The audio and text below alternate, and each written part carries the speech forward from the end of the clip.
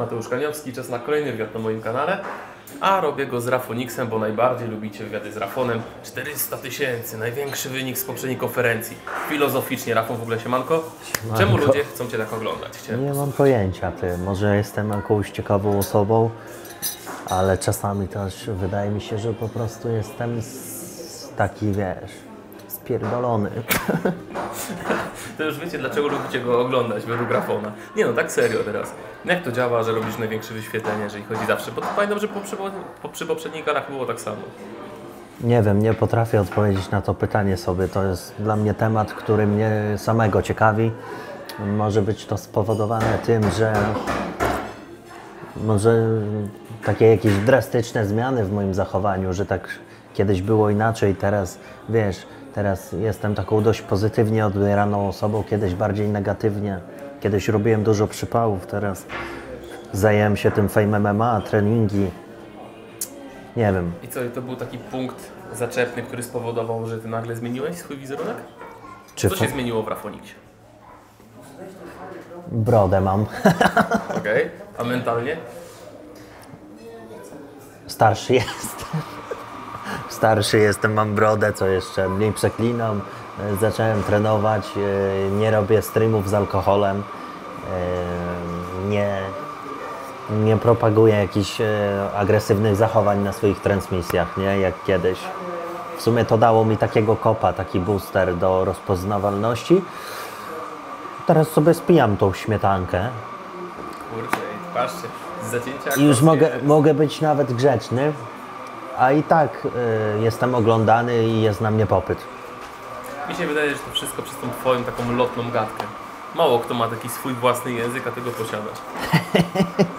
Że te slangi, te teksty, No tak, no bo są ludzie, którzy mają takie swoje słowa, których jak używają, to jest zabawnie. Don Casio jest świetnym przykładem, Ty jesteś genialnym przykładem. przepraszam, y, odstawię, poczekaj. Tak, Don Casio ma dobrą gadkę, mamy zbliżoną do siebie tekstami. Y, no ja lubię tak dopieprzyć czasami do pieca, ale nie, nie rozkminiam tych tekstów na spontanie. Powiem Wam szczerze, jak obserwuję, jak właśnie tutaj operatorzy FMA nagrywają te wszystkie trailery, to mało kto potrafi tak szybko je nagrać. Rafon i Don zrobili to tak. A zresztą trzeba się męczyć. Ja- Masz dar aktorski. nie łapię wczuty. Mnie to nie interesuje, jak to wyjdzie. Przecież ja wiem, wiesz, jakim jestem człowiekiem, znam swoje jakieś wartości i no, widziałeś, rzadko kiedy odzywam się, czy jest ok. Bo nie interesuje mnie to. Wiem, wiem po co przyjeżdża ekipa, że muszą nagrać, że to musi wyglądać. I to wiesz, mi, mi na tym nie zależy. Mogę wyjść tak, że ludzie mogą mówić, a on nic nie umie, dostanie w dziurę, jest słaby. Nie obchodzi mnie to. Dobra, skoro Wy znasz się najlepiej, słucham, jaka jest największa zaleta Rafoniksa? Yy, moja zaleta? No, taka ogólnie życiowa, takie bardziej filozoficzne pytanie. No wiesz co, nigdy mi nikt nie zadał takiego pytania. Mateusz Tak jakbym, to tak jakbym miał sobie sam słodzić, a Ja zaraz powiem wada. pijemy bez cukru, nie? No w sumie. no to zaraz się dowiecie. Co, zbijamy? Jedziesz. Największa zaleta? Największa zaleta. Chyba z największą zaletą, nie wiem jak nazwać taką cechę, ale na przykład jak jest w dniu coś do, do zrobienia i jest e, taki napięty grafik, jaram się tym. Kiedyś tego nie lubiłem, teraz się tym jaram. Lubię jak mam za, zapierdziel i wszystko mi się sypie na głowę i ja muszę wziąć to, złapać w ręce, wszystko zrobić. Wiem, że musi być na tip-top, każda sprawa załatwiona. A wada? Dokładność taka, nie? Wada? Najgorsza? Najgorsza wada. No i później, jak już, jak, już, jak już zrobię wszystko, co do mnie należy, to muszę dwa dni odpoczywać. Leń.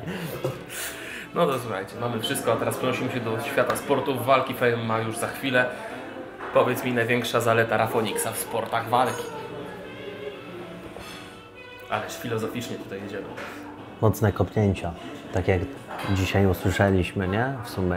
A Wojtek nie ma mocnych kopnięć? Ja wiem, czemu o to pytasz. Robisz tak, nie? Trochę Robisz. trzeba, trochę trzeba. Robisz, żeby były dymy. Bo ty wiesz, jak on kopie. Mocno, ale no prawie upada, tak? Przy tych kopnięciach. Przewraca się trochę. Jakby był napierdolony. Tak? No jakby był pod wpływem. Kopie. No, bez kitu. Czyli twoja zaleta to mocne kopnięcia. No. Mówisz, że on kopie mocno, ale nie technicznie. To co, jak wasze nogi się spotkają w locie, co się stanie? Lepiej, że się nie spotkały. Nie chcę, nie będę kopać na razie na starcie. W ogóle nie używam nóg. Ewentualnie jak on kopnie, to mogę skrócić dystans, zajebać go na brodę. Ale to trochę bez sensu. Mówisz, że twoja najmocniejsza strona to kopnięcia, mówisz potem, że nie będziesz ich używał. Wiesz co, użyję ich e, w momencie, gdy będę pewien, że jest to opanowanie w tym dzikusie, bo jak wleci, tak jak ostatnio w J-Mixa, ja nie chcę mieć potem siedzieć przy tej nogi. Ja wolę nie kopać, mniej łapać punktów, mniej wyrządzać szkód, ale no, y, bijemy się na zasadach MMA, jest to poważna walka. Wiesz, ma być brutalność, ale nie, nie żeby skończyć z uszczerbkiem na zdrowiu. Bo jak widziałem u J-Mixa ranę otwartą, że widać było białą kość na szyciu, no to sorry, ja tak nie chcę. Nie, co ty, przeraża mnie to. No, no właśnie. A teraz Cię zapytam, jaka jest największa wada i ciekawe, co odpowiesz, czy w ogóle odpowiesz, jeżeli chodzi o Twoje sporty walki. No, nie mogę powiedzieć. Ja nawet nie wiem, nie rozkminiam takich rzeczy. Jak mam ci tak na szybko coś wymyślić, to. Kondycja trochę jest słaba, nie? No, trzeba pracować. Teraz 6 kilo do góry poszedłem, no to ciężko mi się. Bo tak naprawdę my jeszcze ani razu nie widzieliśmy w Twoich walkach, żebyś musiał używać kondycji. Bo z Magicalem to trwało chwilę tak. i samo trwało to chwilę. Jedna runda wszystko, nie? Pół rundy nawet było. Wojtka nigdy nikt nie skończył, nawet bonus BGC. Wojtek też nie skończył bonusa BGC. Ale Wojtek ma kondycję. Tak. Jakąś ma, jakąś ma. Wiem. A nie boisz się tego, że Wojtek będzie od Ciebie silniejszy, jeżeli chodzi właśnie o masę, o tężyznę fizyczną? Zbił, przepraszam, zbił parę kilogramów, yy, więc jak ktoś teoretycznie zbija wagę, mm, to jest słabszy fizycznie z tego co wiem. No ale siła powinna trochę mu pozostać, prawda? Bo Ty jednak nabierasz, on zbija. Czy się boję jego siły, tak? To było pytanie, czy To się było boję. pytanie, tak. Jakbym się bał, to bym nie wychodził, nie boję się, nie, nie, nie rozkminiam. Ja wiem, że mam się z nim bić i nie, nie obchodzi mnie, czy on jest silny, przepraszam. Wiesz, jakbym myślał o tak poszczególnej rzeczy, czy jest silny, czy mocno mi przyfasoli, czy, czy, czy mnie odetnie, no to za dużo bym sobie na głowę wrzucił. Nie, nie boję się. No w skrócie odpowiem na pytanie, nie, nie boję się. A stresujesz się tym pojedynkiem? Czy Nie, raczej jesteś nie. sobie tak na luzaku, trenujesz sobie, wiesz, że wszystko będzie dobrze? Na razie jest na luzaku, zobaczymy jak to będzie później. Wydaje mi się, że będzie to co przy ostatniej walce, że już w szatni jest taki materac do rozgrzewania się. Tam mnie łapie strasznie uczucie takie, którego nie potrafię opisać. Zadusza człowieka od środka aż. Co, że stres? Tak. Tak, ale mija jak jesteś już pod sceną, waha się. Ja mam coś takiego, że u mnie to waha. Yy, jak Ci mówiłem, materac z rozgrzewką, gdzie zagrzewasz się, yy, jest stres, potem yy, opada stres, potem znów jest i dopiero jak już sędzia sędzia yy, przecina szlaban, że się bijemy, to znika wszystko i płyniemy, nie? No, ale żeś mi wrzucił na głowę teraz. Już teraz się stresuję przez ciebie i twoje, tak, przez takie gadki. Bo sobie wizualizuję walkę dżingali i już O! To jest Twoja kamera. Teraz proszę o wizualizację. walki przebieg? Tak. Nie mam pojęcia. Mówi, że sobie wizualizujesz teraz... Wizualizuję sobie dzień e, walki, wiesz, nie wizualizuję sobie tego, jak to będzie wyglądać w klatce, bo tego nie wiem. Nie wiem, czym Wojtek mnie zaskoczy, bo dwa miesiące e, miał na potrenowanie. Na JMX-ie nie miał jakiejś mega formy. Może teraz będzie miał, może będzie, wiesz, e, może będzie mocniejszy, nie? E, wizualizuję sobie tylko, co będzie się działo w szatni.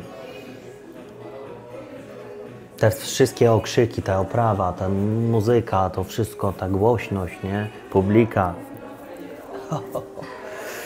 Odcina mnie już, jak myślę o tym. Chciałbyś ze mną potypować galę? No, dawaj, dawaj. Bestia Najma.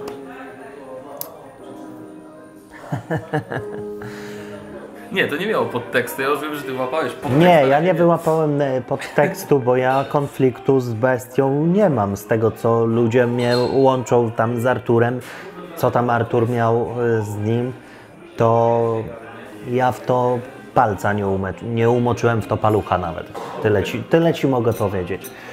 I tyle. Czyli nie angażujesz się w sprawę. Nie, nie obchodzi mnie to. Nie, ale w- jak mam powiedzieć o walce, bo zadałeś mi pytanie, Bestia Najman, sorry, dla mnie wygra Marcin, nie? Wydaje mi się, że Marcin wygra, bo ma, ma coś za sobą, ma przeszłość, nie? Coś, coś się pobił, coś się pobił, nie robi tego pierwszy raz. No jestem ciekawy, co powiesz o dziewczynach, bo niewiele wiemy o Zusie. Znaczy, my widzieliśmy, jak ona trenuje, ty nie widziałeś. Marta wygra pewnie. Co, też staż treningowy? Tak. Uważasz, że ten staż treningowy jest aż tak bardzo ważny? Który raz wychodzi? Trzeci. Tak. Wiesz, bo to też jest ważne, kto ma jakie predyspozycje. Tak zawsze było w życiu, że niektórzy przychodzą na treningi i potrafią od razu, a są tacy, którzy chodzą miesiącami i no nic, jak krew w piach. Widziałem postępy Marty. Wydaje mi się, że wygra. No, nie, nie, nie, nie, że jakoś tam nie patrzę ze strony sentymentu do czyjejś osoby, bo nie znam tych dziewczyn. Yy, Wydaje mi się, że Marta ma większe szanse, bo walczy trzeci raz i przykłada się do treningów dużo. Dużo schudła też, nie wiem czy widziałeś, wygląd się zmienia. Yy, Szczupła się zrobiła, formę robi. A Zusje to taka nowość, nie? Na Fame MMA, więc no... Czyżby od razu umiała rozwinąć skrzydła? Nie wydaje mi się. Ciężko. Jestem ciekawy, co powiesz o Elpro, ponieważ Kubańczyk ma kurs 1.01. Nie dasz już mieć mniejszego kursu, to jest aż zabawne. To już jest kurwa przesądzona walka. Co tam gadać? No przecież Kubańczyk to obowiązkowo wygra, bo inaczej tego nie widzę, nie? Ale powiem Ci, że Elpro jak na swoje warunki fizyczne... Tak, widziałem, wygląda, widziałem, tak. Naprawdę nieźle się rusza. Bułę, buły sadzi, fajnie ręce wracają, taki dobry, dobrze idzie mu to. Yy. Ale co, widziałeś jak Kubańczyk kopał Michała, nie? Jak nogi, nogi wyeliminował. Przecież takie buły, lo- low kick buła, low kick buła. Wleci, będzie go ganiał, będzie go ścigał. Ta. A Casio kontra Maciek? Casio kontra Maciu. No Casio, no. Casio, a kto ma wygrać? Jestem w ogóle ciekawy, co Ty sądzisz o Kasiuszu, bo powiedziałeś, że macie podobny sposób mówienia, że też macie taki swój specyficzny, swój specyficzny slang. to jest wariat. Psychol to jest. Ja go lubię. Tak? My Właśnie jestem się ciekawy, dogadali. czy takie podobne charaktery by się dogadały, czy nie. Czy ja wiem, czy podobne? Znaczy podobne pod względem właśnie tego, że macie swoje... Że jaja robimy, tak. A, no ten, no, myśmy się dogadały, dogadali na Instagramie, parę wiadomości wymieniliśmy, także no, pośmiałem się trochę. Już nie będę mówił, jakie tematy były gadki, ale kurwa, by się ktoś dowiedział. Ja w ogóle, Rafał, mam wrażenie, że taki jesteś dzisiaj lekko przymulony. Ty zmęczenie treningami, czy co się No dzieje? stary, mnie nie ma w domu od godziny 13, która jest? Przepraszam, zobaczę. No powiedzmy, że około 19. 19.15. Chłopie, przecież ja y, robię ten wywiad na odcince, nie? Przemęczenie materiału? Przemęczenie materiału. Powiem, że dużo zawodników ma coś takiego, że jak właśnie jesteśmy tutaj na tych trailerach, robimy wywiady, wiele osób mówi, że już ma dosyć tych treningów. Dla mnie to już jest rutyna wszystko. Ja potrzebuję odsapnąć, a nie mam kiedy, stary. No po walce. No spinam dupę i ten. Wiesz co mnie denerwuje? Co cię denerwuje? Że jestem ciągle wołany. Chodź nagramy to, konferencja tu, zdjęcia tu. I teoretycznie ostatni miesiąc przygotowań do Fame MMA to powinien być taki komfort psychiczny dla zawodnika, kiedy on siedzi i sobie trenuje, a nie jest co chwilę gdzieś wołany. Wiesz, że to trochę źle brzmi, jak właśnie Cię zawołałem na wywiad. No dobra, wywiad to wywiad. Przynajmniej jest cappuccina. Przynajmniej jest cappuccina. Już myślałem, że taki przytyk. Szkoda, że, szkoda, że nie wiesz jaka kawa, nie będę ci robił reklamy, ale Nie jestem dogadany z tymi, z którymi dobrze jest, więc wiem, że to yy, co... da radę, coś możemy załatwić. Mm, możemy załatwić. Trzeba działać, bo to nie ma co czekać. Rafał, ta gala będzie najlepsza w historii Fame czy nie? Nie wiem. Może i tak, jak Wojtka rozwalę w pierwszej rundzie, wlecę mu, nasypię mu garść, to będzie najlepsza. Ja uwielbiam ten twój trash talk, więc słuchaj, na sam koniec to jest twoja kamera. Powiedz tak wszystkim, żeby się ludzie ucieszyli. Do A właściwie Wojtka? do Wojtka powiedz. Ale tak bezpośrednio. Ale wiesz tak co, nie ma y, nikogo. ale ja go lubię, Wojtek. wiesz, że ja go ja lubię. Wiem, że wy się lubicie. Ja go lubię, osobiście go lubię. Ja też robię dym, żeby tam wszystko, wiesz, gala, gala że te bilety to poszło, nie? Bo, bo liczy się tak naprawdę walka, a to co my tam gadamy, to połowę to ja sobie w głowie wymyślam, nie? Niekoniecznie jest to prawdą, tak naprawdę. Ale ze względu na to, że ludzie lubią, to to zapraszam. To jest Wojtas. To jest Wojtasz. Tak na zawołanie cisnąć koleżkę. Więc jak cisnąć? Ja Pogadaj sobie. Co mam powiedzieć? No, Wojtek, nie obskoczysz mnie, nie dasz rady tego zrobić, wiesz o tym dobrze. Widzisz teraz moje oczy, gościu? Za krótko, za krótko to robisz, stary. Nie przykładasz się do tego. Yy, widz wysłał mi, jak jesteś w McDonaldzie wczoraj. Yy, chłopaki, widziałem, widziałeś to? W McDonaldzie. Widziałem. Wpierdalasz w McDonaldzie, jesz w McDonaldzie, gościu. Co ty jesteś niepoważny? Ty miałeś 77 kg ważyć. Zaraz mi powiesz, że kupiłeś tylko kawę, nie? Bo można niby tylko po kawkę zajechać. Gość wali, oszukuje. E, on, on stra na tą galę, mi się wydaje, na tą walkę. On ma to gdzieś. Tak naprawdę on się nie przygotowuje e, w pełni. On myśli, że on ma pewniaka, że on wygra, że jest wyższy, że ma e, dłuższy zasięg rąk. Wydaje mi się, że Wojtek czujesz się zbyt pewnie. A mylisz się, stary. Mylisz się, stary. Byłeś u mnie, yy, powiedziałeś, że ty parteru w ogóle nie tykasz. Teraz miałeś tylko dwa miesiące i co? Taki będziesz, kurwa, Habib teraz nagle. Dogonisz, jak ja parter robię z pół roku. Też nie mówię, że jestem jakimś kozakiem, ale jeśli ty próbowałeś w ogóle z trenerami coś zabierać się, żeby cokolwiek robić tam, no to nie, nie, to nic ci nic nie da, to jest za krótko, za mało, za późno myślisz o pewnych rzeczach i przegrasz walkę. Przegrasz walkę, bo masz za mało czasu, żeby się dobrze przygotować. Wspaniałe przesłanie na koniec dla Wojtka Goli. Rafon, dzięki wielkie za wywiad. Powodzonka ostatni miesiąc przygotowań i uśmiechu trochę, energii. No. No, dzięki wielkie. Do zobaczenia.